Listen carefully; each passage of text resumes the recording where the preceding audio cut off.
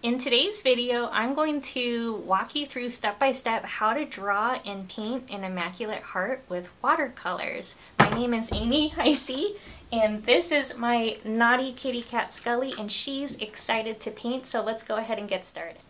For this painting, you're going to need a piece of watercolor paper. I taped mine down with some masking tape. You need a water cup, some different sizes of paintbrushes, watercolor paints, paper towels, a pencil, some salt, and if you want to, you can use something like masking fluid to help protect your flowers and other parts of your painting while you paint. So the first thing that we're going to do is we're going to use our pencil to draw out our immaculate heart. So the first thing that I'm going to do is um, draw out the bumps of my heart. So I like to start with the top bumps. I do two curved lines that kind of remind me of the shape of a bird. Once I get my bumps for my heart drawn in, I like to draw out the bottom point of my heart. So I just extend those curves down to a point, and that point kind of reminds me of the letter V. And if I'm ever going too fast, you can always pause the video or skip ahead if you're ready for the next step.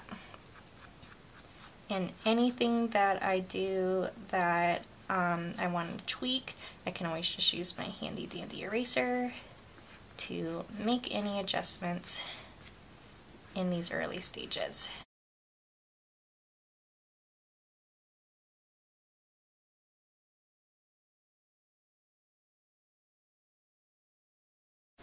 So once we have our heart drawn out, we're going to start to put in our roses. I always like to start with the middle rose first, and there's lots of different ways that you can draw them out, but I'll show you some simple um, options that you can do.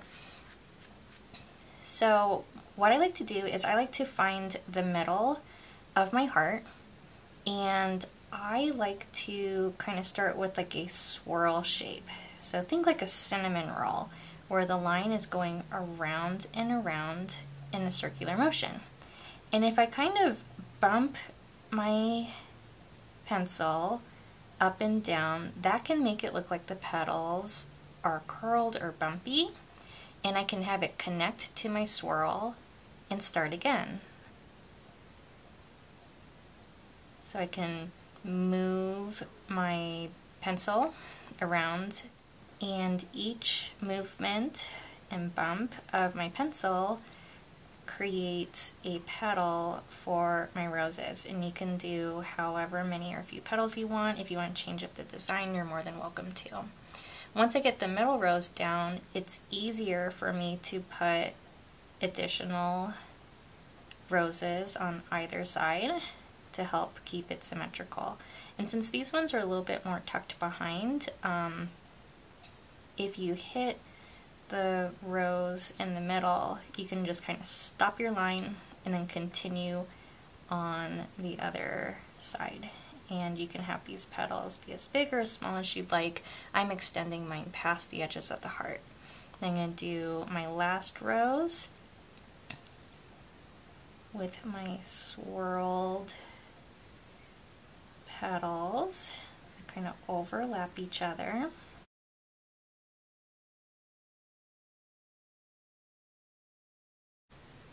And when I'm all done, I can erase these parts of the heart that I can see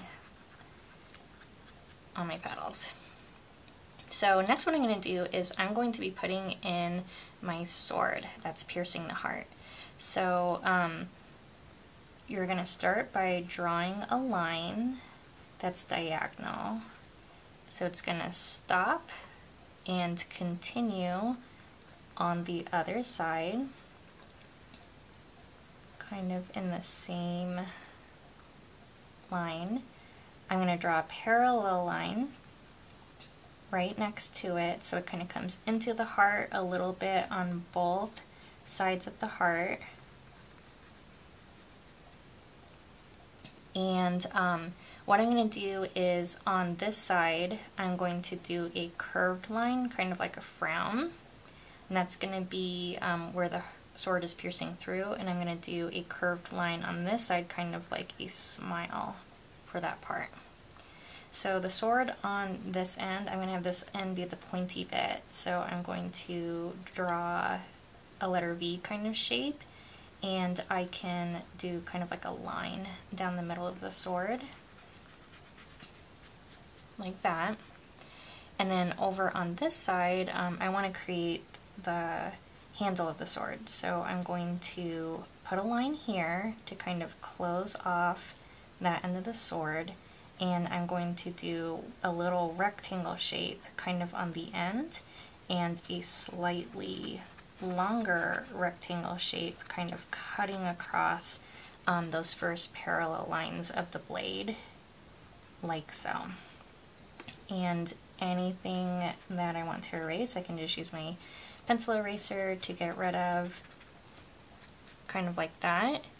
And I also want to do a line down the middle here for that blade as well. Once you get the sword drawn out, we're going to put in the flames. So I'm going to start over here on the left side. I like to do curved lines, kind of like this. This one reminds me of the shape of a question mark. And I want the point of this flame to be smaller and narrow, so I'm going to draw my line close to it. But as I follow the curve of that question mark shape, I want to get my line bigger and thicker. So that flame is pointed at the end, thicker in other parts. Um, I can do the same thing on this side, kind of do like a curved line. This one kind of reminds me of the letter S. And I want this one to be pointed, but thicker in some spots. And then I can do a wavy line for my middle flame. And you can do as many or as few flames as you want to in yours. This one's a little bit taller than that one, but that is okay. Flames come in all shapes and sizes.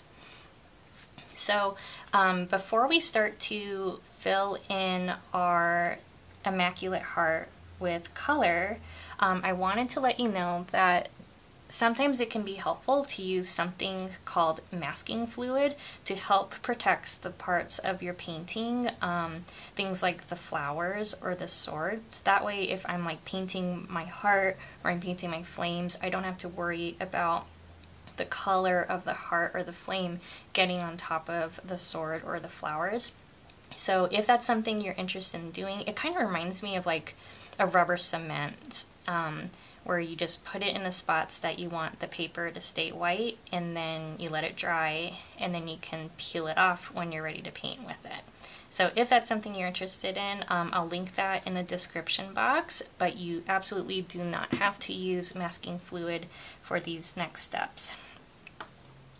So you can color in your heart however you wish after you draw it, but I'm going to be using watercolors to fill in mine. So um, I'm going to start off by filling in the heart. With watercolors, it's important to do one little section at a time. Um, that way all of the colors don't all mix together. So I'm going to take my brush, I'm going to dip it in my water, and I am going to load up my paintbrush with my first color of paint. And I picked this um, nice kind of pink color for my heart, but you can do any shade that you wish. And I'm painting on my dry paper, filling in the heart. And um, since I did not use masking fluid on my sword or on my flowers, I just have to be extra careful as I paint around them. If I accidentally got a little bit of paint on the flower, or on um, the sword, I can always wipe it up with a paper towel to get rid of that pink color.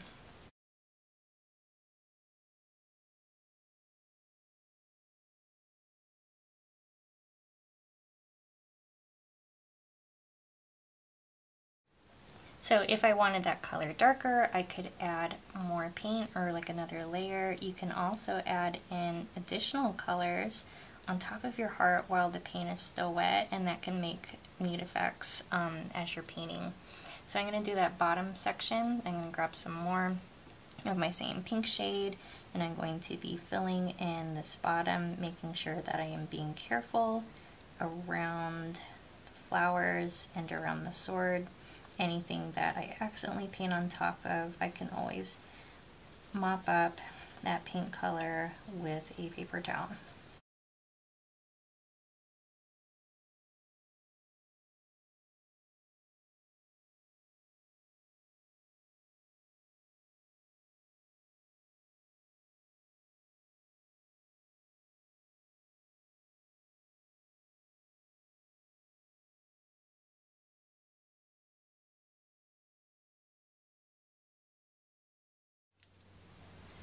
So while that part of my heart is starting to dry, I can work on another section of my painting. And what I'm going to do next is I'm going to work on filling in these flames.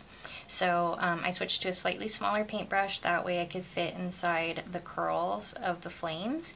And um, I like to start with the lightest colors first. So I want to do some yellow as the first brightest color of my flames.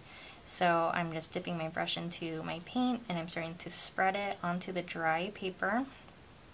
The lighter I want that color to be, the less paint I can put on my brush or the more water I can add to my paintbrush to kind of tone down that yellow paint. And if I want it darker, I just have to load up my brush with more of the paint. See how that's much darker? And um, that just changes the color. So I'm trying to be careful around the heart because parts of my heart are still drying, but if it accidentally mixes with it a little bit, that is okay.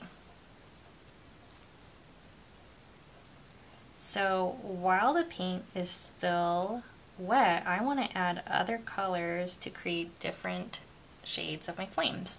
So I can grab another color like orange, for example, and I can drop that color directly on top of some of my wet yellow. And because the yellow is still wet, it's starting to spread those new colors that I add all throughout the painting, kind of like this. You can even see some of the spots where the pink that I had that wasn't quite dry, it's starting to bleed into my flames too and that's a happy accident. It's making some really neat effects. So I can do this with multiple colors. I think I'm going to grab some more of that pink that I used for the heart to kind of complement the flames that I have. I'm just going to drop that color right on top of the wet orange in parts where I want the flames a little bit darker. And I'm loving the way that it's kind of pulling and creating different shades and different effects all throughout. So while that is wet and doing its thing, anything that I don't like, I can always take something like a paper towel to like suck up any color that I don't want. Um, but one of my favorite effects to do with flames is I love to take salt and I love to sprinkle it on top of the flames while they're still wet. And what's going to happen is it's going to suck up some of the paint color and it's going to create these really interesting crystal effects, which I feel like helps the paint look more flame-like. So that, those are our flames. While that's drying, we can start to work on our sword. So I'm going to start with the handle first. I think I'm going to do like a dark, a dark purple kind of color. So I'm gonna load up my paintbrush with some paint and I'm going to be filling in the different parts of my handle a piece at a time. Since that's a little bit wet, I think I'm going to give that a little bit of time to dry and I'm going to move on to the light gray or silver of the blade. So I have some gray paint on my paintbrush. If it's ever too dark, you can always add a little bit of water to your paintbrush and kind of use that to lighten up the color.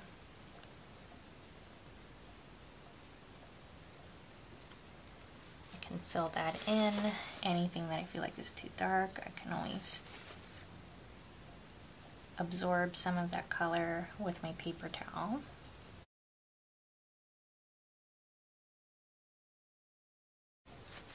And then I'm going to finish up my handle. And you can do any color, any design that you'd like. Watercolor kind of has a mind of its own, so if it mixes with some of your other colors, I say just go for it. But like I said, if you really don't like the way it's doing that, you can always use your paper towel to suck some of that up. Alright, the last thing that we're going to do is we're going to work on filling in our flowers. You can do any colors that you want. Um, because my heart has so many bright saturated colors, I want to do something a little bit on the lighter side. So I think I'm going to be using kind of like this pretty um, minty color and I'm going to use like a really light wash of this to fill in my flowers.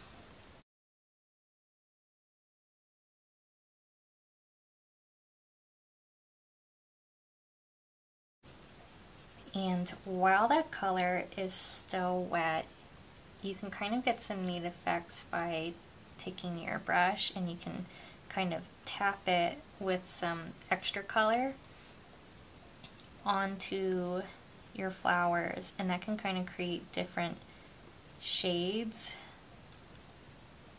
in your flowers kind of like that. Because the paint's wet it's spreading that paint around in interesting ways. You can do this with multiple colors also. So for example, I can get some of this kind of minty color on first, but then maybe I want to throw some purple on there to kind of change the colors. And that's kind of a neat effect too. So when you put wet paint on top of wet paper, that is called wet on wet. And that's a watercolor technique that creates some really interesting paint bleeds in your painting.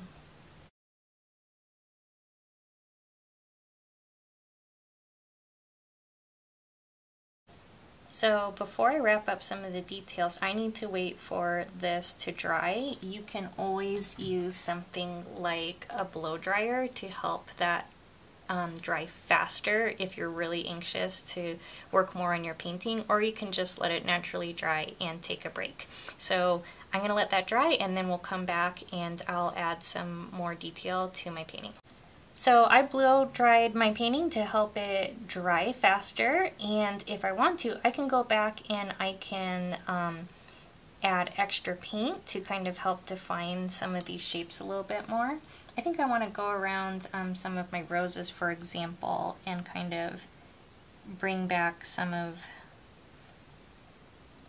the details from my petals with just a little bit of paint. You could also use like your pencil or something to define those edges a little bit more.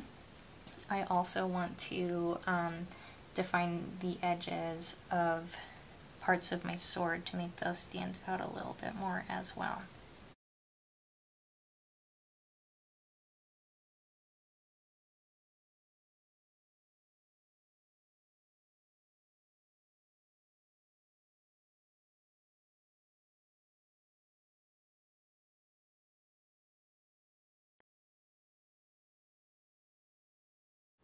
Thank you so much for painting your Immaculate Heart of Mary paintings with me. I'd love to see how they turned out. Feel free to tag me on social media.